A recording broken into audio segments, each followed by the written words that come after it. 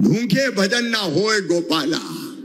काम धंधा तो चाहिए, रोज़गार तो चाहिए। चाहिए कि नहीं चाहिए रोज़गार? अरे सब बताओ, चाहिए कि नहीं चाहिए? ज़िंदगी बिना रोज़गार के नहीं चल सकती।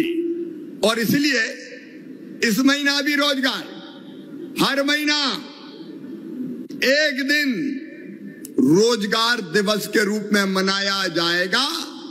और अगले महीने 29 मार्च को, आज ही मैं घोषित कर रहा हूँ 29 मार्च को फिर रोज़गार दिवस बना के और फिर लाखों की संख्या में लोगों को रोज़गार के लिए, स्वरोजगार के लिए लोन दिलवाया जाएगा।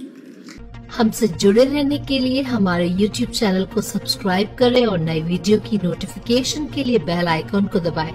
अगर आप ये वीडियो Facebook पर देख रहे हैं तो लाइक ज़रूर करें और ज़्यादा से ज़्यादा शेयर करें धन्यवाद